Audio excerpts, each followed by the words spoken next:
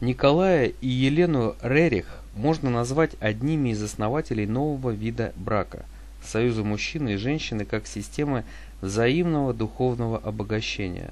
Такой брак стал популярен к началу прошлого века.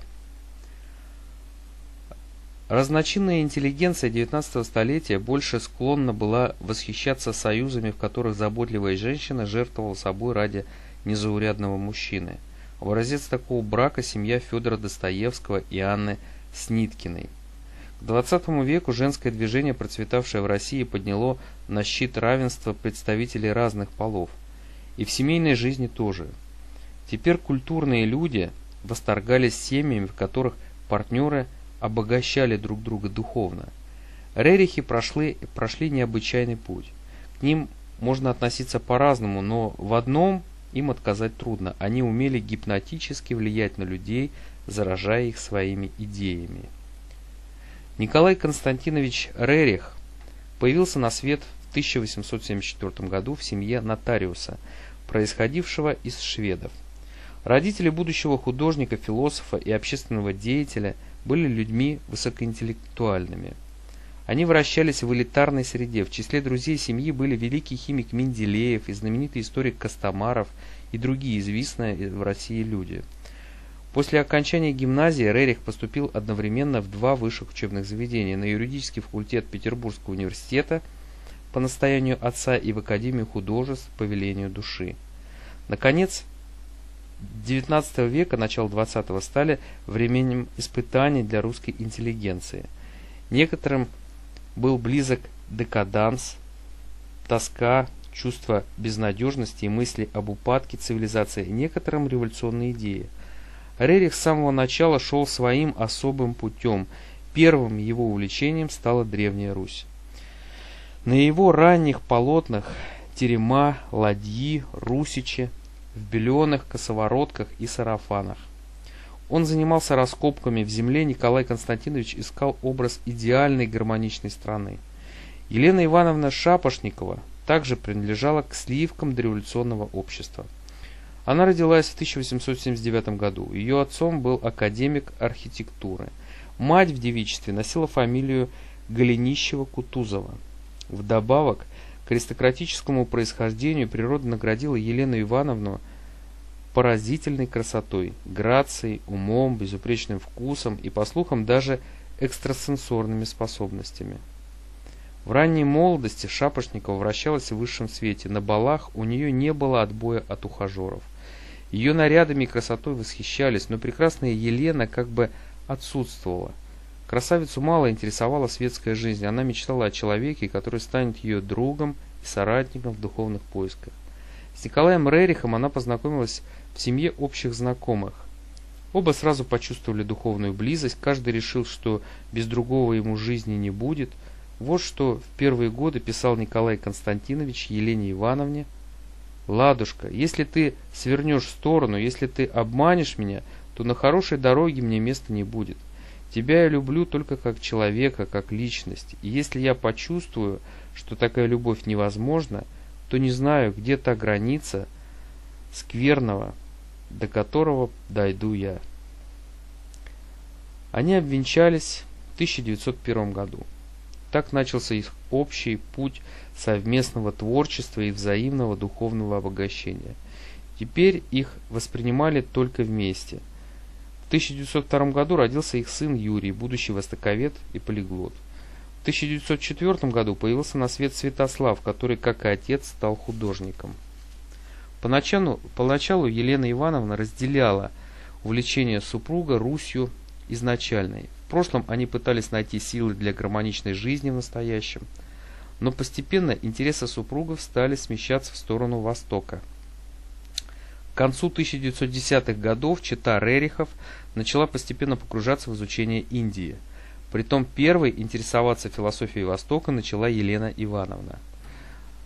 1919 год стал поворотным для супругов. В Англии они познакомились с великим индийским поэтом Рабиндранатом Тагаром.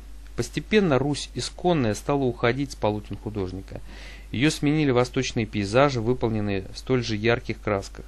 Если раньше рерихи путешествовали по древним русским городам, то теперь их цель стала Индия, и миссией несение в мир восточной философии.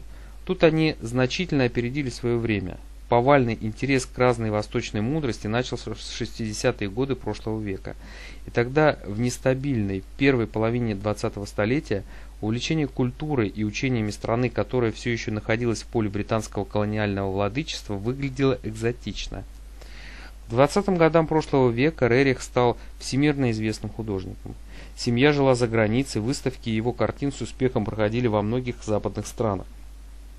Но Николаю Константиновичу было явно мало признания его художественного таланта. Он хотел создать новый мир, новую философию, новое мировоззрение, нечто вроде новой религии, которая привела бы человечество к гармонии. Главными элементами любви Николая и Елены Рерих стали их единомыслие, поддержка друг друга – во всех начинаниях, огромная уверенность в правильности того, чем они увлекались. Они считали все их увлечения нуждаются во всемирной трансляции. Главной идеей стало спасение культуры с помощью религии, искусства и науки. Да, Рерихи считали себя в силах примирить извечно противоборствующие науку и религию. В 1923 году мечты супругов сбылись. Они отправились в Индию. Экспедиция проходила под американским флагом и была снаряжена на деньги американских спонсоров. Путешествие продолжалось пять лет. Его можно было еще назвать маршрутами Будды. Путями божества Рерихи прошли несколько тысяч километров. Елена Ивановна и дети безропотно сносили все тяготы пути. Результатом было открытие новой системы жизни, так называемой живой этики, основу которой Елена Рерих изложила так – оно, учение, вмещает всю жизнь, все области ее, имеет в виду все усовершенствования, потому кроме постоянного нравственного совершенствования каждый человек должен изучать и располагать хотя бы одним мастерством и ремеслом. Рерихи пришли от полного неприятия советской власти культивированию Махатмы Ленина, которого очень почитали на Востоке как защитника интересов бедных.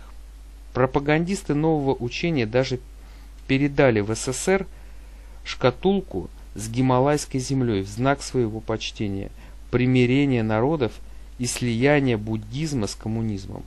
Но этот акт остался практически без внимания. В 1920-е годы советской власти было не до метафизических учений и их пропагандистов, пусть даже самых безобидных. Последняя часть жизни супругов Рерих связана с основным, с основанным ими институтом Урусвати. В переводе с санскрита это слово означает «цвет утренней звезды» в индийской долине Кулу. Здесь они изучали археологические экспонаты и рукописи, собранные в экспедиции.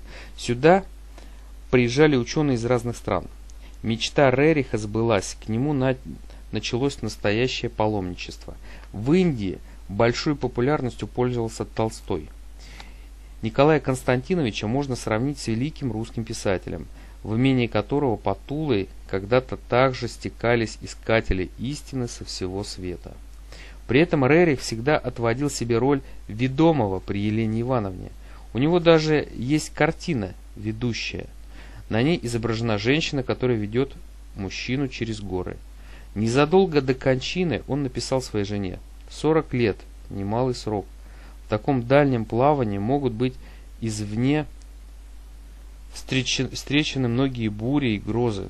Дружно проходили мы все всякие препоны, и препятствия обращались возможности. Пребывая вдали от родины, супруги мечтали о возвращении. Им казалось, их учение лучше всего ляжет на российскую почву. Судя по всему, они имели весьма иллюзорное представление о происходящем в СССР. Войну Советского Союза против гитлеровской Германии они восприняли как противостояние сил добра силам зла. Юрий и Святослав даже пожелали вступить в Красную армию. Советская власть отмалчивалась в ответ на их просьбы. В 1947 году Николай Константинович Рерих умер. Елена Ивановна после смерти мужа не оставила попыток вернуться э, не оста... Э, на родину. Рассказы о том, что творится в сталинской России, доверия у нее не вызывали, и на ее просьбу ответа также не последовало. Елена Ивановна скончалась, как и ее муж, в Индии в 1955 году. Последние ее труды были посвящены мессианской роли России, в которой она не была много лет. Статья подготовлена Марией Кониковой, публикуется в журнале «Загадки истории» номер 2, 2014 год. Не забудьте подписаться на канал и оставить ваши комментарии.